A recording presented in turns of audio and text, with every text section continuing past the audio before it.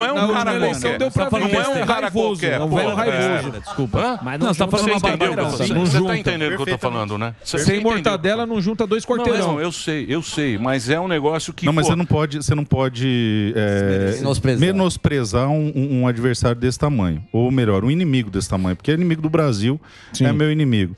Ele é muito bom.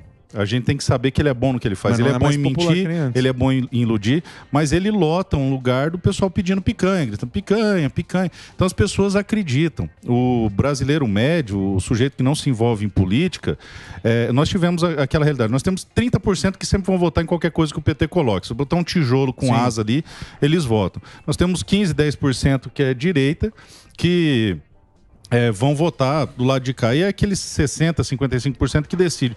Boa parte desse pessoal não tem formação política, não tem essa compreensão, então eles ainda acham o discurso bonito, é, o discurso é, é, se- seduz e aí eles embarcam. É.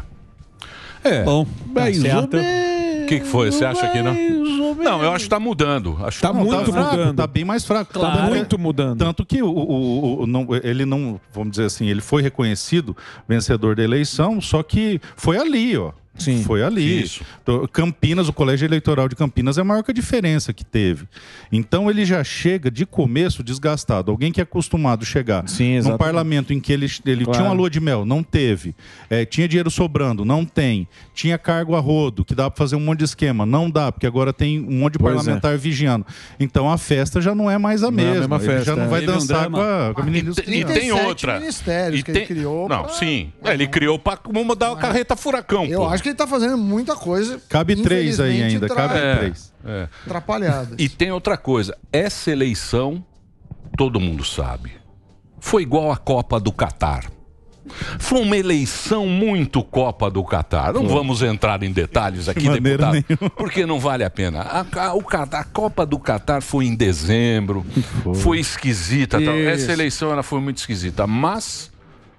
Por favor, coloque o recado de Dilma Rousseff Ou de para o deputado agora, que vai, que vai, Vai ter que Ah lá, ó, enfrentar. dias piores virão, deputado. Dias pior- Fique é. tranquilo. É, agora, agora pra frente é só pra trás, daqui pra frente é só pra trás. exato, eu gosto dessa frase, eu é Gostei trás. dessa aí, vamos lá. Eu uso essa frase. De agora em diante, como é que é? Daqui pra frente é só pra trás. Daqui pra vai frente muito é só pra pra trás. trás. Deixa eu passar aqui o, o, o Instagram O serviço. do, do, do deputado é Polon MS.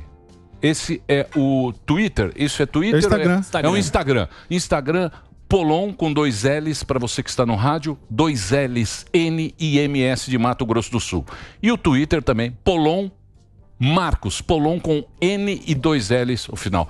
Deputado, muito obrigado pela sua presença. O papo foi muito Boa. bom. Boa sorte para você. E Sabe que a gente, a gente sempre torce pro Brasil também. Tomara que dê certo. Tomara que dê certo o Lula. Tomara que dê certo o Boulos. Eu, eu, eu Tá não louco. conheço ninguém com tanta fé, cara. Você, você tem a fé pra andar em cima da água, cara. Você tem muita fé. Tem ter- Mas eu agradeço, cara. Tem que ter sou, fé, deputado. Sou fã. É, fé demais não cheira bem. Isso cuidado. Mas obrigado. Eu, eu- sou muito fã de vocês. Todo mundo que, é de, que acompanha a Jovem Pan é fã de vocês. São espetaculares. Obrigado por me receber. Obrigado. E eu queria só deixar um, algo para todos os eleitores do Brasil pensar, todos os cidadãos do Brasil pensar. Cuidado que tem muito é, parlamentar ou pessoas aí falando, ó, eu estou fazendo isso porque o Bolsonaro que mandou, ou então eu estou fazendo isso porque foi o fulano que mandou. Ah, conversei com o Bolsonaro e ele falou que é para eu ocupar tal